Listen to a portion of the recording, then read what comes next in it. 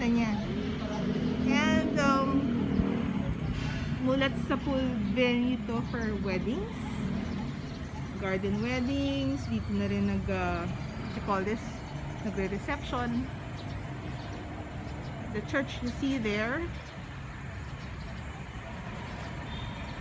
is fully air conditioned. Uh, centuries old and sa loob niyan, nandun remains ng Governor General.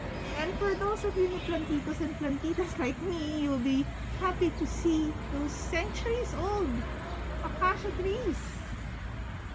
No? Growing healthy and strong. Yung dalawang piece dyan nung araw yan. Okay? So let's go around. Oh, by the way, ang dami-daming cats dito. Nakakatuwa. Kasi I love cats. Nabanggit ko na, no, na ano dati to. ah, what you call this? Dito lalagay yung mga pitch ng intramuros. Until ginawa nilang ah, ah, ginawa nila ng libingan ng mga cholera victims of the 19th century. Okay? See how well, well maintained the garden. The garden is. Noon wala pa to. Hindi ko alam para sa ano.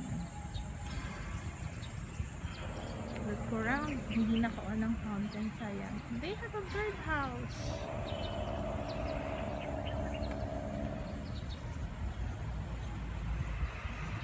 I sure wish I can see what it says. Hindi ko siya mababasa kasi it's too far. Ano natin? Zoom in.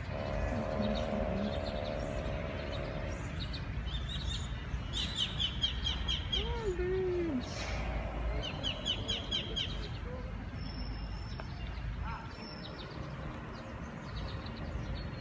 Beautiful! Ang ganda-ganda dito. So peaceful. Aliwalas. Tahimik. You really can com commune with nature. Hmm. Kita niyo? Adobe church. Solid adobe. Stone church. Air conditioned sa loob yan. There's some information. There. This dome and oval chapel had an altar that was originally white and gold on each side of the altar are the repositories for the remains of governors and bishops. Okay. Let's go. Dito, may ossuary or osario kung saan nililibing yung mga infants. Uh, if I remember right, banda dito yan. You can see the crypts. Sinarado na nila yan. Nung bata ako, may, may mga bukas pa dito noon. Ayun, lahat sarado na.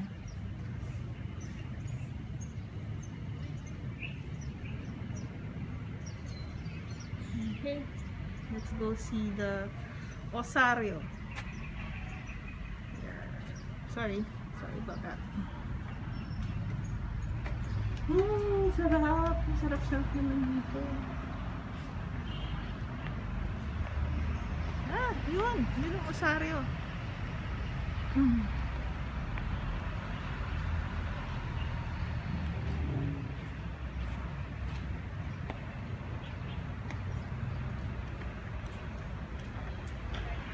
There's my... See? Infant site. Ito yung Osario. Dito nilalagay yung mga babies na namatay. That lahat sarado na. Oh, may isa pa ditong crypt na may pangalan. Ano Can you read it? Todavia Vives en El Corazon de tu abuela y tu padres. Sorry, hindi ako nakapag-Spanish. hindi rin ako ikinig sa nanay ko nung tinuturuan ako ng Spanyol. Kaya, it says 7 B, may most probably 5 12 1812 could be I'm not sure. Ito ang usari tapos may daan sa taas. Hindi muna tayo dadaan dyan ha? Punta tayo sa marker kung saan unang nilibing si Jose okay? Oh beautiful so many memories.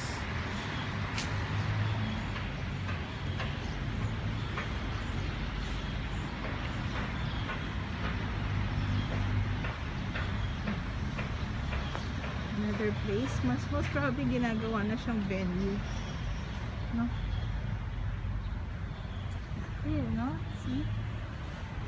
And it's clean. Very clean. You can hold your venues here uh, your events here is ayun na si si Pepe another point of entry and exit going to the church and the oval And there it is. Dito, unang inilibing si Jose Rizal. Ito ang kwento dyan. And these are facts. Nung in-execute si Rizal sa bagong bayan, hinanap ni Narcisa yung kanyang kapatid na nakababata.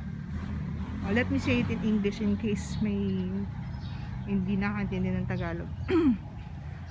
si, when Jose Rizal was ex executed in Bagong Bayan on December 30, 1896, nobody knew where he was buried, where his remains were uh, was interred. So si Narcisa, napansin niya, uh, so Narcisa noticed at the gates of Paku Park, the one that I showed you earlier, there were a lot of Guardia Civil. So, she wondered. I mean, uh, so she uh, assumed that uh, his her brother could be inside Paco Park. So what she did, she she asked the Guardia Civil allow her to give a proper respect to where Rizal Rizal's remain was thrown as I read kasi unmarked grave ito nung araw unmarked grave to nung pinatay si Jose Rizal walang walang cross nothing um Narcisa only concluded that this site was where Rizal's body was uh, buried because th- this was the only site where where the grounds were freshly dug up. I will share a picture in this video ng actual photo during the time when Narcisa uh, placed this across ay uh, yeah the and she marked nga pala RPJ para hindi malaman na this was where Rizal's body was buried. Because they feared that his remains might get exhumed and um, you know thrown elsewhere and be left to oblivion. So that's why it's not it's not JPR it's not Rizal it's RPJ just to mislead. Okay? So let's read the marker. Jose Rizal executed December uh, 30 December 1896 interred secretly in this spot by the authorities of the same on the same day. Guarded for 15 days by the Guardia Civil Veterana remains exhumed 17 August 1898 that was when Rizal Rizal's remains was transferred to Bagong Bayan or Luneta kung nasan yung kanyang uh, monument nakatayo placed in an urn made by Teodoro Romualdo de Jesus deposited in the house of his mother in Estrade Street, Binondo and on December 30, 1912 laid beneath his monument at the Luneta there. So inexhume ng August 17, 1898 nilagay sa urn, binigay sa nanay and on December 30, 1912 nilagay sa Luneta. And by the way, the monument of Rizal in Luneta was made in Switzerland and it was not designed by a Filipino but if I recall it right, an Italian. Nagkaroon kasi ng ah, let's go around. Nag, oh look at that yucca. Oh mga plantita, ganda oh. Ganda ng yucca tree anyway, going back um, nagkaroon ng uh, contest nung araw sa pagde-design ng Rizal Monument. Uh, and the first placer sorry I can't remember who. Basta ang kwento nun yung talagang nanalo sa pag-design ng Rizal Monument hindi na hindi nila ginamit yung design na yon kasi it was too expensive ang daming basket plant dami ko na easily distracted no? Ayun um, it was too expensive to execute. Kaya they opted for the second place winner. At ayun ang nakikita natin ngayon sa Rizal Monument yung second place winner na yun.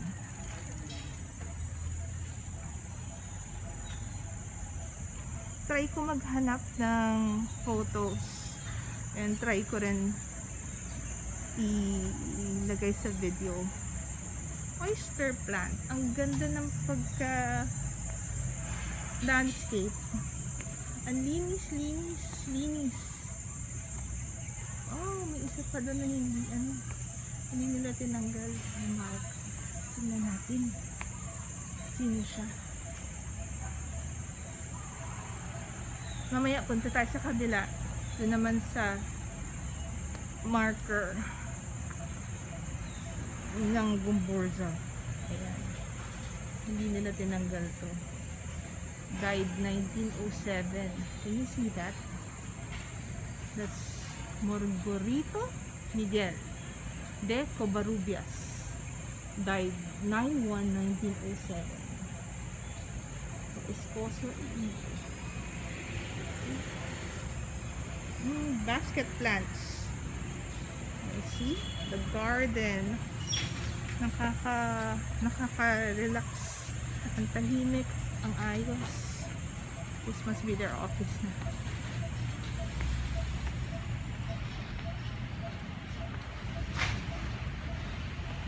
Oh, don't forget, this place is open from 6 a.m. to 11 a.m. only. Perfect para mag-exercise. Hello, Mimi.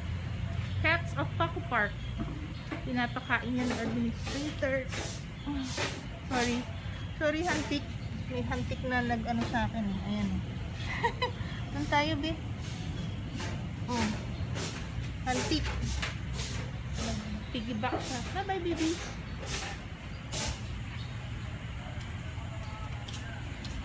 Ang mga masisipag na nagme-maintain ng Paco Park. Yung Manang, makikidaan po. Morning po. Punta naman tayo sa marker. Sinagumbursa. Sinagumbursa ang three martyr priests na who were executed. Oh, by the way, bago muna ako magkwento, rubber tree! Oh, ayan yung mga libon na almost a thousand pesos na binibenta. Pero ito common, hindi siya yung mga black prince, lemon lime. Hindi. These are the rubber trees na kinalaki ng panong bata ako. Ayan. Okay. Okay, hello Gumbuta. Ayan. Ang puntod, may nagumbursa. Uh, going back, Gumbursa stands for Gomez, Burgos, and Zamora. They were the three martyr priests who were executed via guillotine during the 19th century. Uh, 18, hindi ako sure. Ko. 1812, if I'm not mistaken. Ayun, ah, 1872. Yun. Yun. Uh, I'll read this me- memory for you first. The mortal remains of the three martyred priests, Fathers Jose A. Burgos, Mariano Gomez, and Jacinto Zamora, were buried in this hallowed ground after their execution on 17 February 1872 for complicity in the Convite Mutiny. This marker was unveiled by His Excellency Fidel V. Ramos, President of the Republic of the Philippines, on February 17, 1998, on the occasion of the martyrdom of the three priests. Actually, ang sabi sa mga nabasa ko at na panood ko na galing sa mga historiador, according to historians, eh, sorry, the the three priests were actually um, po- uh, political political move ang nangyari sa sa three priests kaya sila um, uh, sinabit sa Cavite Mutiny kasi Padre Burgos was one of the most influential mestizo priests during the time. He was instituting a lot of reforms in the uh,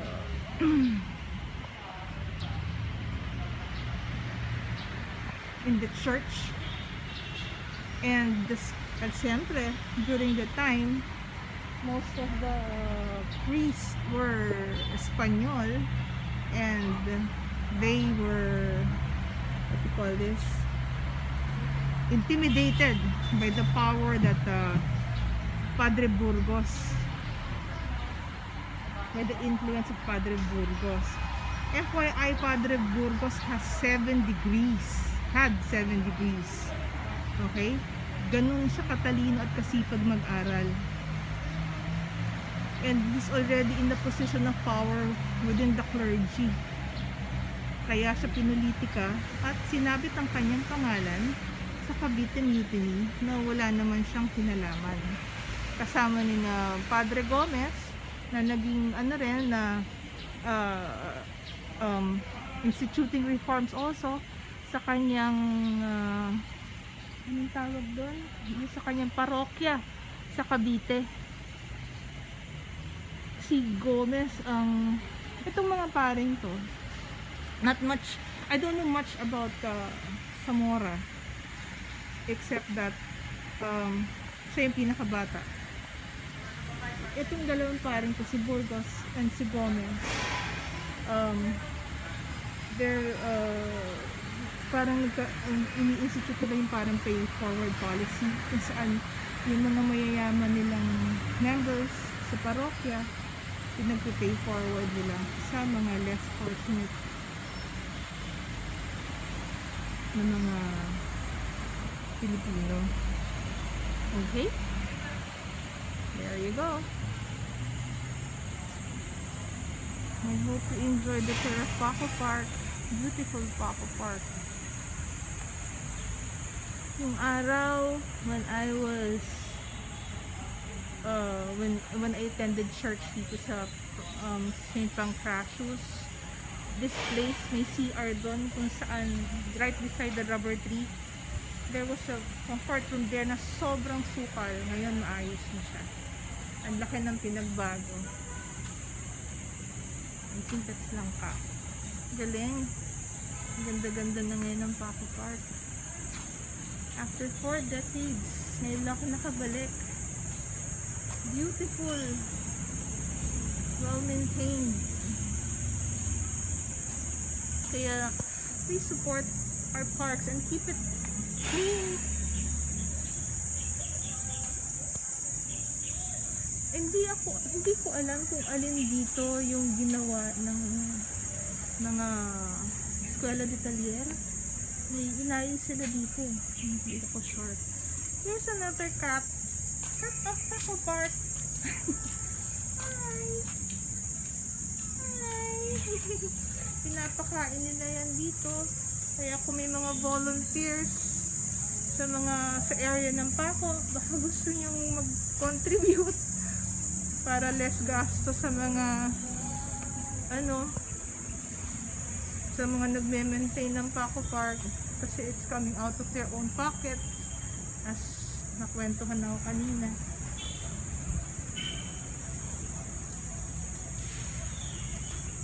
There akit tayo. Tingnan natin. Oh, by the way ang Paco Park nga pala may outer wall may inner wall.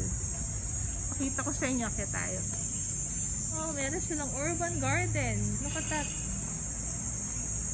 langka breadfruit. Mukhang langka.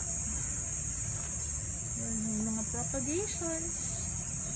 Ang sarap naman.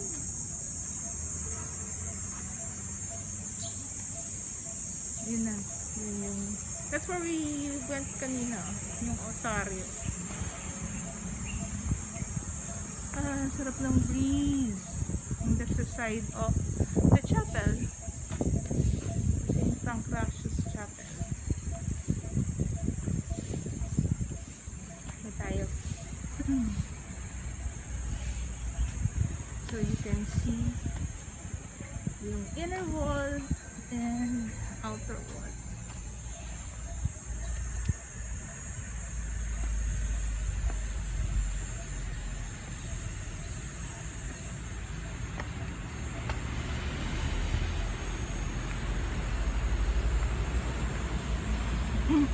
walking distance sa bahay namin.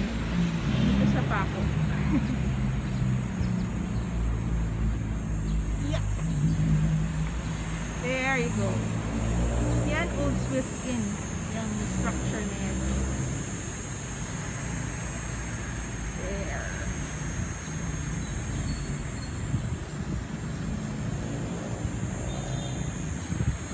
Malakasal. We're walking on top of the outer wall. And ang journey are the crips.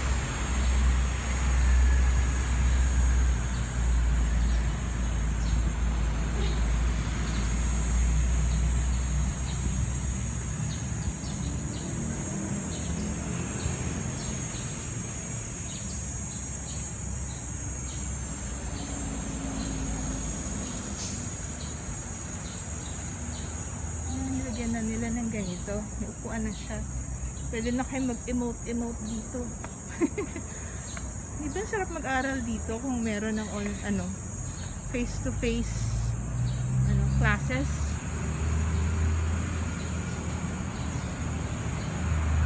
Ah, Old Swiss Inn pa rin pala. There you go. Old Swiss Inn pa rin pala siya. Masarap ang sausages dyan ng araw. Ano ko ngayon, hanggang ngayon.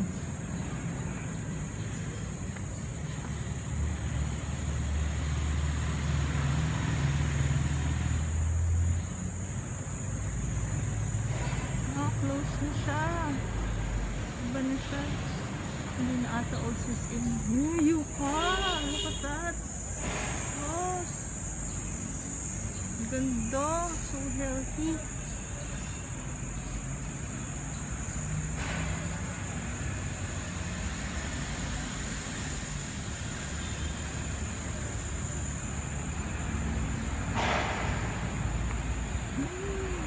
Hmm, garden. Ay, sarap lumakad sa garden. You can see from here. Yung puntod na nagumburla.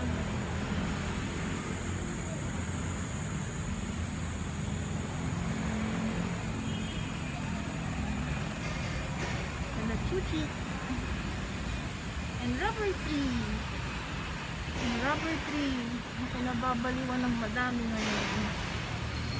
Well, it, it grows that big. Any kind of rubber tree will grow that big. Kaya huwag niyong pagtatabi-tabihin sa garden niyo. Unless gusto niyong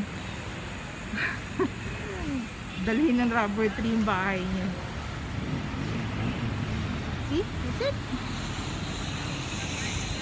Okay.